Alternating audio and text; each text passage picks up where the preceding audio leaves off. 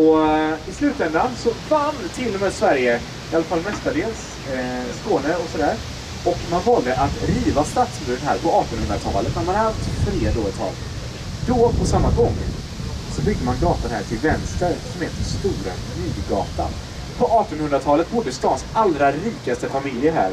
Och ofta var de faktiskt så rika att det bara bodde en familj i ett sånt här hus.